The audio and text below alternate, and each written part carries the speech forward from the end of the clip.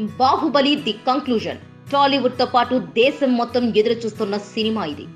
బాహుబలి మొదటి భాగంతో ఆరు వందల కోట్ల వసూళ్ళను సాధించగా ఈ రెండో పార్ట్ ఏకంగా వెయ్యి కోట్లు వసూలు చేస్తుందని అంచనాలున్నాయి.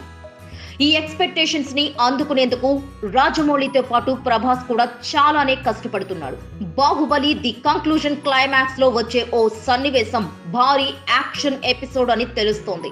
ఈ ఒక్క సీన్ మొత్తం రెండు భాగాలకు హైలైట్గా నిలుస్తుందని బాహుబలి యూనిట్ నమ్ముతోంది.